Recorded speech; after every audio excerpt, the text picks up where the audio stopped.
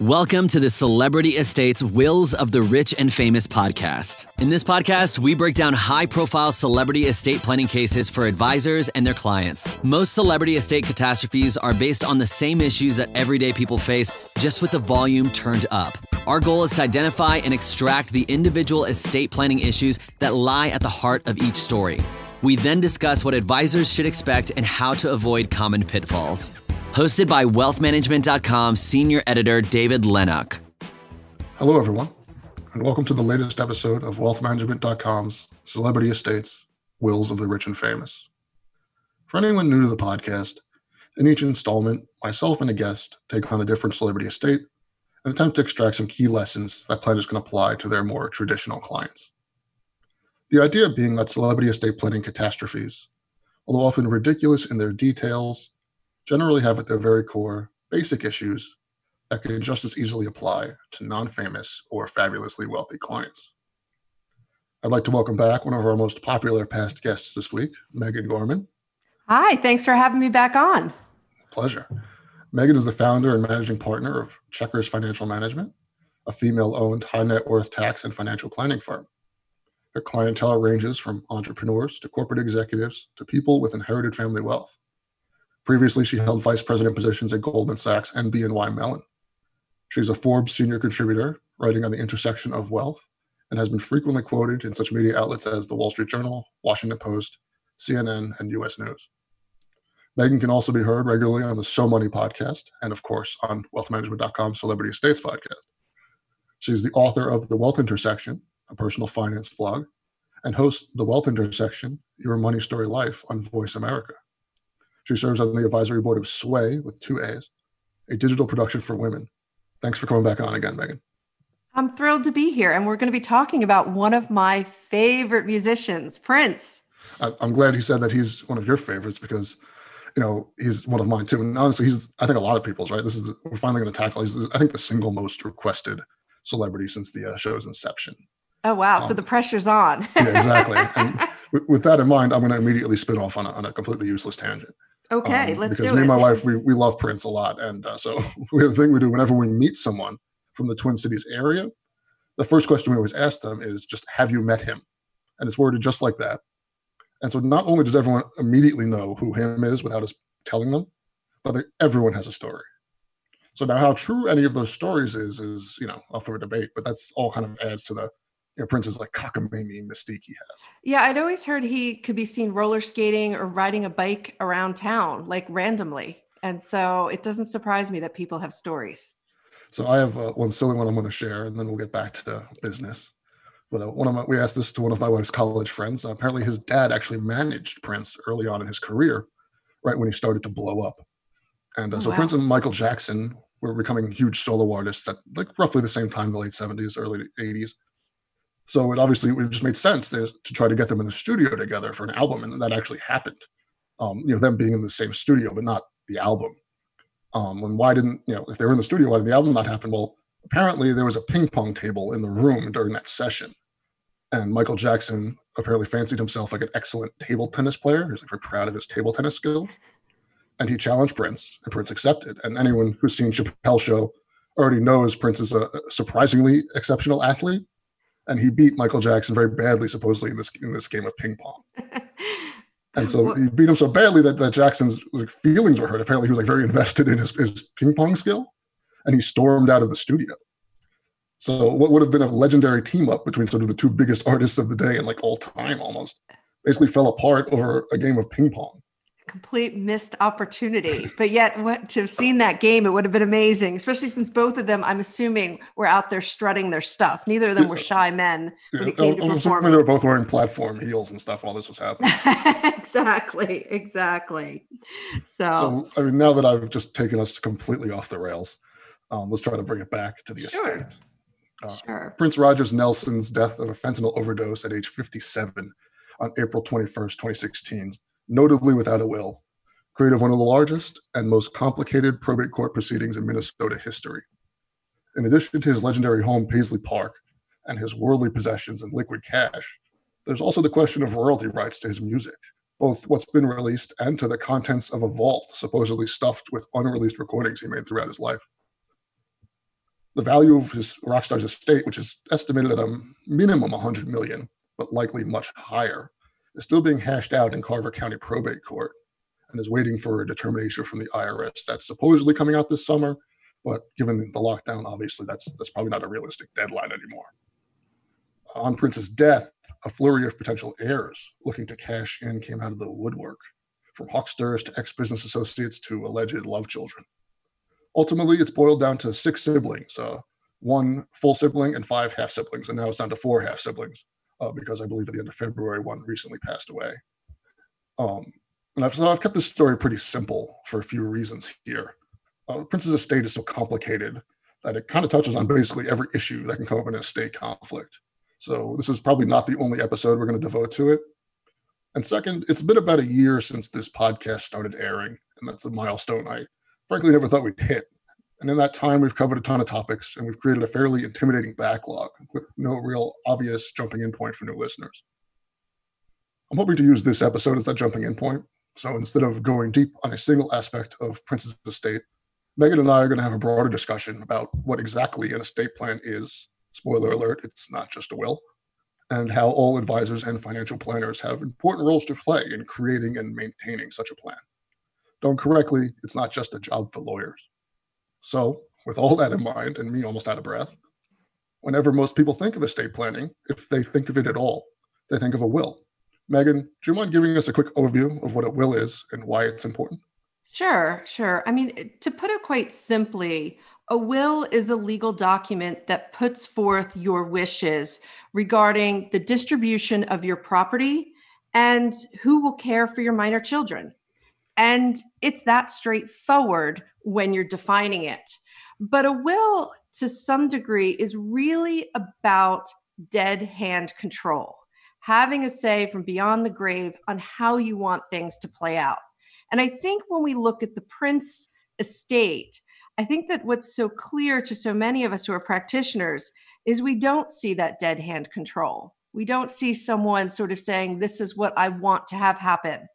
And when you have an estate as complex as Prince, right, some of the things that you think about from distribution, it's not just who inherits Paisley Park or who inherits the, the musical rights, but what about his name and his likeness?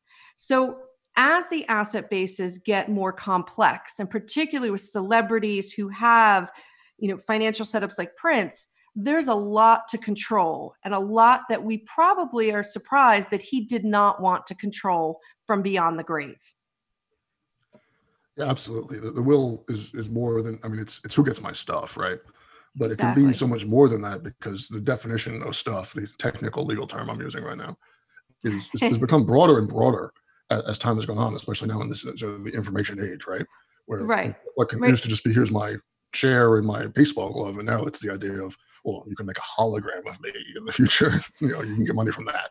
Right. And I think the other thing to keep in mind is we're talking about the basics here. So most people, you know, the average American does a will. But, you know, a lot of more wealthy individuals or certain states because I'm sitting here today in the state of California don't do a just don't just do a will, they do a revocable trust. And that is a very similar document that allows for the disposition of assets. But the beauty of the revocable trust setup is when you use it, you get privacy. And I bring this up here because I think that there's often confusion between the will and the trust. I run into it a lot in California. In California, here, we all have wills, but our wills are three or four pages that basically says anything that was left out of the trust, move into the trust. The trust will control the disposition of my assets. Yeah, you mentioned privacy here, and um, you didn't say the word probate, but that's what we're talking about. So, do you mind just talking about probate and what it is for people who may not know? In terms of the basic terms of estate planning, when we hear the word probate, what we're talking about is typically a judicial process where a will can be proved in court. Okay, and that that happens all the time. When you think about the Jackie Kennedy Onassis estate, I remember when her will was probated. This also happened recently with her sister Lee Radziwill. But Probate can also be a process when the decedent has not left an estate plan. And that means that it's up to the courts to determine who gets the assets. And if they have children, who is to be the guardian of the children. Yeah, and the big point here is that probate is a public proceeding. So it necessitates sort of a public declaration effectively of all of your assets for for it to process. So, so all the assets in your estates become public. Um, and a lot of people, you know, that's that's the privacy issue that, that Megan's talking about. That that's really is anathema to a lot of people's interests and, and trusts. Uh, the revocable trust here passes outside probate. So the idea is that since it doesn't pass through probate, there's nothing in the estate, so nothing gets disclosed. The trust still kind of does the same function. It just cuts out the middleman of having the court proceeding of the public court proceeding is the important part. Right, and I think in the in a perfect world, right? If we were sitting here and Prince was in front of us today, I think most practitioners would advise him to do the trust route to provide himself some privacy. And you know, when you think about Prince as an individual and you can go back and look at his whole career, to some degree, he was a very mysterious figure to all of us. So the fact that he didn't want to have privacy at his death is sort of in in conflict of, with who he is as an individual. And so, you know, one of the things that I think is really important in estate planning is understanding that when you get a will or you get a trust, part of that process is in working with an attorney over the long term. And so when I was doing some research on Prince and understanding who he was from a more legal standpoint, it was noted numerous times in a lot of the legal proceedings he had in the um, early 2000s and, and the 2010s with Warner that he changed attorneys constantly. And so I bring this up because I think the ability to have the basics of a strong estate plan really is important to have consistency of advice. And so I, I wonder here, you know, with him changing attorneys so much, he was not getting consistency of advice. So that might have deterred him from having an estate plan. But I think when we're working with clients, this is one of those things to be on the lookout for for someone who changes advisors frequently, because I think it's important to make it clear to them that on certain things like litigation, you might need to change your attorney. But for estate planning, consistency is key, particularly as your asset base grows, because these are complex situations. Absolutely. And we can even take that back a step and saying it's just important to know consistency in, in the team and in knowing who your clients advisors are you have to know who they are first to even know that they're switching them all the time you know so that's the very basic step is that this is a team sport estate planning right it's not just throw it to the lawyer and then everyone steps away it's you know there's a there is an information gap depending on who the client is and depending on how many advisors they have you know the lawyer the estate planning attorney is frankly is unlikely to be the one who ends up with the most information about the client you know, that's probably the financial advisor or someone who's more on the front lines of seeing them on a, on a day-to-day or week-to-week basis. So it's very important for the team of advisors to have consistency as well in working together and in knowing that each other even exist.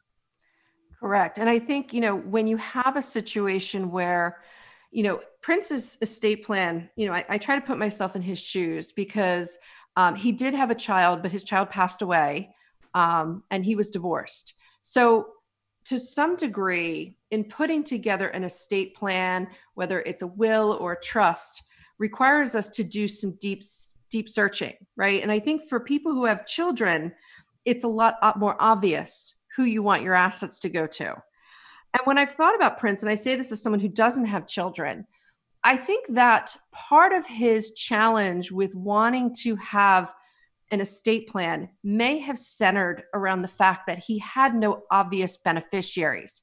And David, you said at the beginning of this podcast, you know, what has been determined by the court is that he has one full sibling and five half siblings who are going to be his beneficiaries. And so, you know, the, the question is would that have been what he would have wanted if he really had a say? And so he lost that control. But I think some of that stemmed from the fact that sometimes it's not so obvious who you want to have get your money. Yeah, absolutely. And um, you know, it's important to look at the, laws here. A lot of times the intestacy law was mm-hmm. sort of is you know outdated as a lot of laws are. It, it's really built with like the traditional like 1950s like nuclear family in mind, where it works if you have kids, you know, 1.5 children who you trust and you want them to have everything, or if you want to go back to your parents. Um, but in sort of obviously the modern world, as Prince, who's a divorced man with a deceased child, and then four step siblings and one you know full sibling, and all these things. And he's very religious, so who knows how much you know his church was his chosen family. You know these things, or you know, say you know, to give a different example, someone in the LGBTQ community who maybe doesn't have children and has you know a larger group of, of friends who who are their chosen family, who they maybe are closer to than their own biological family. And the law doesn't, you know, left alone, the law doesn't really allow for these um, complexities and these sort of subtle interactions to happen. You have to lay this stuff out. First, you have to find out about it, and then you have to like craft the plan to reflect what this person actually wants to happen. Well, and I think what happens here in the Prince estate plan is really important for advisors to understand because it, it, re- it, requires us to push harder on our clients. So, as we said, you know, one of uh, his siblings and his half siblings inherited um, the estate. But interesting, one of his half siblings ended up um, passing away. But before he passed away, he made a decision to sell his share of, or sell a, a number of his rights in his share of the Prince estate to an entertainment company. And this entertainment company does a number of things. I know they just bought Air Supply's, music rights. They were involved with the Whitney Houston estate. And in particular, with the Whitney Houston estate, they were involved with the idea of putting a hologram of her on tour. So, why I bring this up is there are unintended consequences for failing to have a will. Prince may have wanted his half sibling to inherit the estate. That might have been within his wishes. But if we had him here today and we said, do you want to your rights, your your name, your likeness, your share in that being sold to a company that could put you on stage as a hologram? I think he'd probably cringe, especially since when you go back and look at Prince's legal history, he did things other artists never did. Um, he there was a very famous case in 2007 with YouTube where he shut down a woman who put a 30 second video up of her daughter dancing, her little baby daughter dancing to "Let's Go Crazy." So I can't imagine he would have wanted these unintended consequences. I mean, this is the man who changed his name to a unpronounceable symbol to you know to sidestep the record company having too much control of him. So, you know, it's definitely something the idea of a hologram, I think, would, would drive him completely insane. Exactly. Exactly. But and I think also, you know, we're, we're trying to do what Prince wanted, right? You're trying to do what the decedent wanted. But you've also got to, you know, as as Prince, you have to think about the best interest also of your beneficiaries, right? Now, you know, we're making this, we're kind of villainizing um, his step sibling who died because, you know, he sold these rights to this, you know, so maybe a little bit shady entertainment concern. But I think I believe none of his step siblings who stand to inherit here are under age 58. So you have to realize like now he's created a situation where you have much older people who likely want to see this money at some point while they're still alive. Right. And so now they're put in a position where they have this thing hanging over their head as well, and they don't know what to do with it. So it's it's as much as you know you want to control your things yourself and for your own benefit you know, I think also Prince cared about his beneficiaries. Most people care about their beneficiaries and they want to put them in the best position as well. And so that's just another interesting wrinkle here of not having this plan. Well, and I think that that brings up another issue here, right? Which is when you don't have a will or a trust, you know you're, you're sort of letting things happen. So you know what what some of the beneficiaries have expressed frustration with is i think they've gone through two corporate trustees at this point. They've paid you know over 10 million to attorneys. Um, i think that there's been another 35 million in expenses getting valuations and gathering assets and selling things. And on top of that there have been estate taxes. So the question you have to ask yourself as a practitioner is when, when you're sitting in front of the client and they're being resistant to doing an estate plan, to actually putting it on paper, you have to lay out to them okay, there's a lot of unintended expenses that will happen if you don't take the right steps. So the first thing is, you know, should Prince have been you know, should his estate have paid as much estate tax as it did? Now, he paid both a federal estate tax um, he's paying a federal state tax and a Minnesota estate tax because Minnesota has an estate tax. And the question is, were there ways that that could have been mitigated? And I think all of us know that there are, but you have to be willing to go into that type of estate planning. I think, you know, by going without a will, the cost of probate to get valuations, to get everything worked out has just been exorbitant. And I think this is very draining on the ultimate beneficiaries who, based on what has been said in the press, some of them were pretty desperate to get liquidity. These were not wealthy people on their own. and all of a sudden they're being flung into an estate that's worth somewhere between 200 and 300 million dollars and yet they've got no liquidity yeah, it, it's very interesting that these sort of things happen. And we, are talking about you know cost here. In the case of someone who's as wealthy as Prince, um, it's very much a monetary cost. Um, but even if your clients are not particularly wealthy, I mean, if they you know estate tax, it's something like if they're under 10, 11 million dollars with 22 million for a couple, you don't need to worry about it. But there's still a cost to letting things through, even if you're not paying the, the, the fees for estate tax. There's still an emotional cost of you know the fights that could have been presented or could have, if not pre- prevented, then at least shortened or cut off a little bit by having this plan in place. So there's both, you know, there's, and there'll still be lawyers' fees a lot of times for those, which will be more reasonable, but again, to within people's means, it's probably they don't want to spend that money. So you know, there are a number of costs for high net worth clients. It's you're really more worried, you know, a lot of times about this monetary cost, but for for more normal, typical clients, it's there's a high emotional cost at stake. Completely, completely. And I think if we think of some of the other basics that the Prince estate plan missed is beyond not having a will or trust and, and everything's in the public space and there's these tax issues is he didn't name anyone to administer his estate. And i think when we're working with clients picking an executor um, is probably one of the most important decisions because this is the person who is appointed to administer the estate. And a lot of the costs that happened out of the gate with the prince estate was there was no administrator so they had to figure out who it was going to be. And I believe this is where they've picked a corporate to step in. Um, whether that was something Prince would have wanted, it's not clear. But again, there was no, he did not put the estate in a place where he could have someone representing his wishes in the way he wanted them to be carried out. Yeah, and this idea of picking an executor and how important that is, it's easy to understate and it's easy for clients to not quite gather because I think a lot of people are just thinking like, oh, it's who I trust the most. And mm-hmm. like, yeah, it is who you trust the most. But so you know, if they're say, oh, I trust Uncle Bob, but if Uncle Bob is just some guy and you've got a fairly complicated estate that now he's in charge of, you know, he's just not qualified to do that. Even if you trusted him a lot, he doesn't have the ability to do a good job, and he's you know. He's not going to want to let you down, but he, you know, he ultimately may just because it's beyond him. And so that's where sort of this idea of picking an advisor or a professional or you know, or a corporate, as you said, um, are all options that exist, even if it's not like your trustworthy family member, but it's someone who has the expertise to actually handle things when they when they happen. Right, and I think when you are working with clients, particularly you know sophisticated clients like Prince, you have to ask the follow up questions when you get them to pick the executor. Why did you pick this person? Why do you think they, they would do a good job? Do they have the time to do this? Right? Do they have the savviness to know when they will need help? Um, i think a lot of the follow-up questions when you pick an executor is key. And then it's also you know who is the backup to the executor if the executor can't do it? Um, making sure those key provisions that are, are in a, a will so that someone is there who really can handle the gravitas of being an executor. Yeah estate plan definitely has an element of sort of like a, a pre-flight checklist right? I it's love like that. we, like we need two of everything just in case something breaks.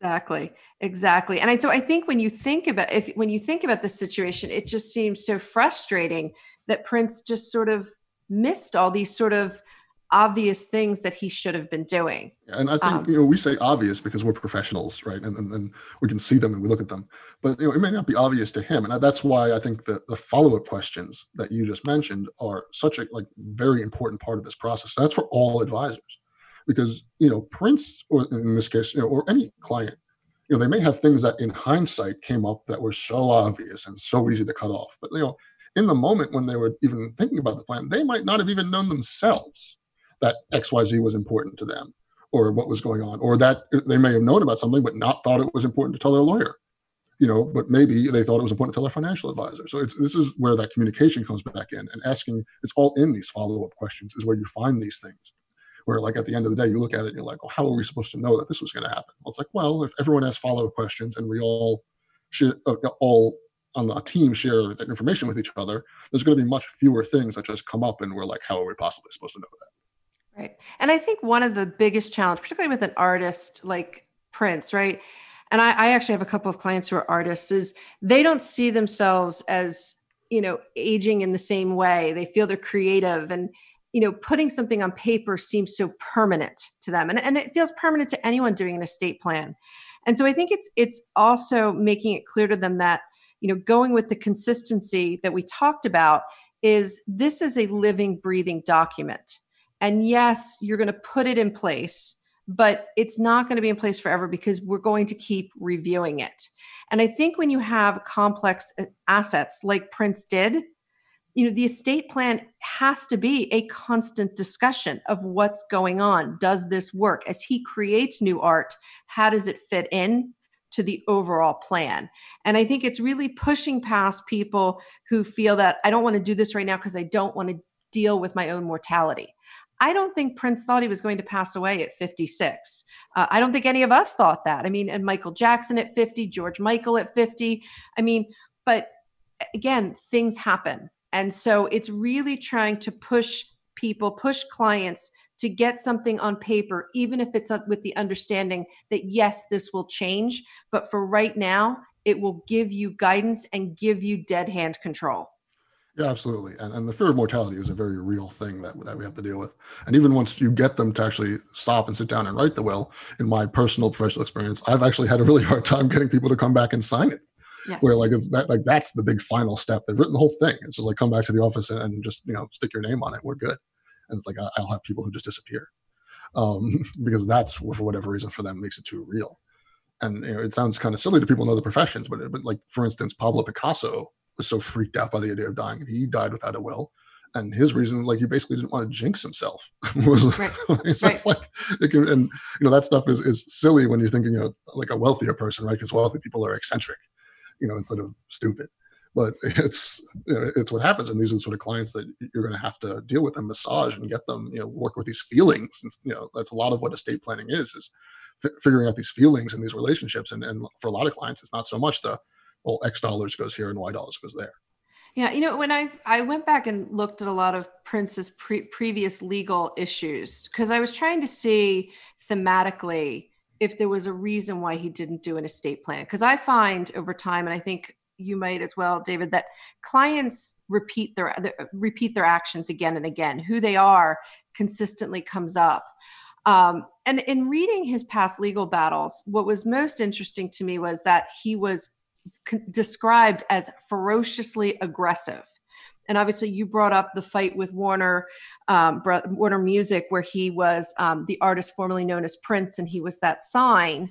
Um, but you know, to some degree, there is part of me that wonders, you know, that aggressiveness, that sort of like there was always a mischievous nature to Prince. There's a part of me that wonders maybe he did intend this. Maybe he didn't care enough about once he was gone and didn't mind if it was chaotic because he'd be gone. I, you know, I've just tried to, and I think it's important when you're doing a client's estate plan to try to understand their nature and try in that those times when someone seems to be wanting to you know swim against the tide to sort of point out to them listen we appreciate the fact that you want to make that impact but ultimately for those of us left behind it's a pretty big mess. Yeah, absolutely. And understanding the client's nature is super important so then you can actually identify when things that are happening that are maybe not of his nature. So you can be aware of the outside pressures that are that are also on the client, and maybe forcing them in a certain direction that they otherwise wouldn't be going in. We've kind of talked around it here with Prince, but you know he did die of a fentanyl overdose, and that only came out afterwards. But how long was he? You know, that's not that's a big boy drug. That's you know that, that indicative of sort of a larger opioid crisis in this country.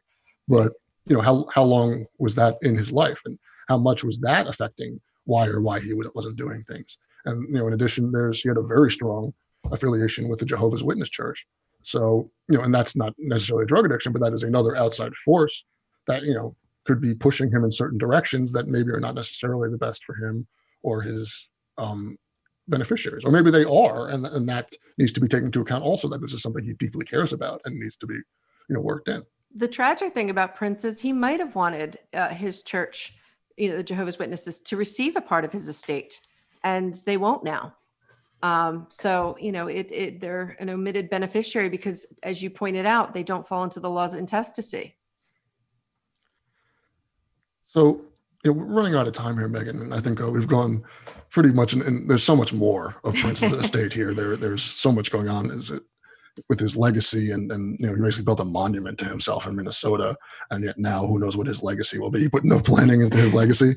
He's, you know so these sort of things seem out of case and there's just so much more to cover but I think it's just too big a topic for one episode. But I think we've done a good job of sort of laying down these um, basic ideas. And if you can you know if I can put you on the spot like I like to do mm-hmm. and if you sure. can try to encapsulate this idea of what an estate plan is in, in, in one or two sentences um, you know what would you say you know, when I think of estate planning, and I work with clients on estate planning all the time, it comes back to control. It comes back to controlling how everything will flow once you're gone. And that all of us have different levels of control that we want to exercise, but this is your one chance to exercise it in the manner that is appropriate for you. And so that's sort of how I look at estate planning. And that's sort of the tragedy of the Prince estate is it's a complete lack of control. Well, thanks so much for coming back on, Megan. This has been great. Oh, no, thank you for having me. It's always fun to talk about Prince. And for our listeners, I'll see you, or I guess you'll hear me, on the next episode of Celebrity Estates Wills of the Rich and Famous. Thank you for listening to the Celebrity Estates Wills of the Rich and Famous podcast. Click the subscribe button below to become notified when new episodes become available. The information covered and posted represents the views and opinions of the guest and does not necessarily represent the views or opinions of InformaWealthManagement.com. The content has been made available for informational and educational purposes only. The content is not intended to be a substitute for professional investing advice. Always seek the advice of your financial advisor or other qualified financial service provider with any questions you may have regarding your investment planning.